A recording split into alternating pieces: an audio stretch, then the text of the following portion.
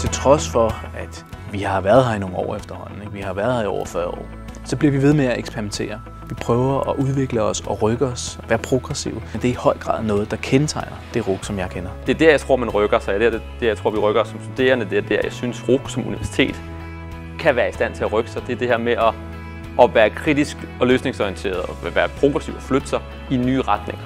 Det målretter os mod det, vi alligevel skal ud og lave, når vi er færdige med vores uddannelse. Der handler det om at løse problemer i samfundet. Jeg kan godt lide, at det er så nyt. Jeg kan godt lide, at det ikke, det ikke er sådan et gammelt middelalderuniversitet, hvor man har de faste bokse, man skal tænke i. Og når vi har 50 procent gruppearbejde, så har vi også halvdelen af undervisningen, hvor vi får lov at koncentrere os om noget, vi synes er spændende. Noget, der engagerer os. Noget, der giver os lyst til at lære det stof, vi rent faktisk arbejder med. Man lærer og lærer, og, øh, og man ser kvaliteten ved samarbejdet og, og ved de forelæsninger og den viden, man får puttet ind. Du skal kigge på, på virkeligheden. Det er ikke bare en, en opstillet, nem opgave, du skal løse, og så er du færdig. Det, det er ude og selv undersøge. Gør dig dine egne erfaringer, og gør dig og opleve dine egne fejl, øh, så du kan lære af det. For man kommer til at lave fejl, og vi har lavet, jeg har lavet tonsvis af fejl i laboratoriet, men jeg har også lært af det.